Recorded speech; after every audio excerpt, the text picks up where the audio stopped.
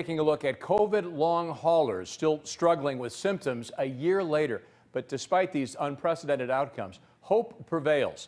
As Brittany Garzillo explains, the race is far from over to help coronavirus survivors find their new normal. A three time marathon runner, Sara Buursma was never afraid of going the distance. I was running like at least five days a week. But now she feels like she's running a whole new marathon as a COVID 19 long hauler. This is a marathon for my health. This is a marathon to get better. In March of 2020, the now 37 year old mom of three lost her taste and smell. In April, she was diagnosed with the coronavirus. But months went on, and Sara, who was previously healthy and had no pre existing health conditions, was still short of breath, nauseous, exhausted, and had sporadic fevers.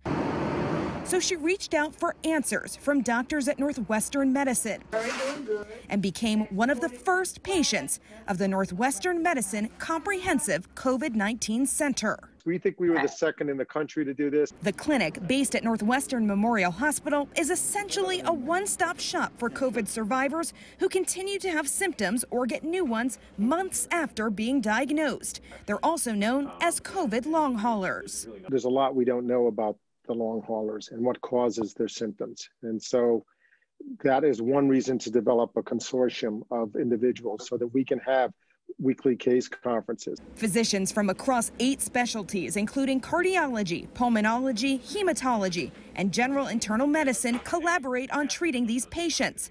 Patients also have access to social workers and transitional care. We're trying to look at this in a kind of a holistic way. Dr. Charles Davidson leads the center, which officially opened in January of this year. He says about two thirds of patients so far have been women, and the average age is less than 50. We realized that many, many of the patients who were having these problems were never hospitalized. Mm-hmm. Only 6% were in the ICU. You're not wheezing at all. You're not wheezing at all. No. Right now, Sara's seeing four doctors for treatment, including Dr. Mark Sala, a pulmonary and critical care specialist. For the most part, we're able to um, make sure that she doesn't have any irreversible problems of the lung, lung tissue and heart, and then help to um, uh, medicate what we can. Doctors with the clinic have seen more than 500 patients, some of whom have fully recovered.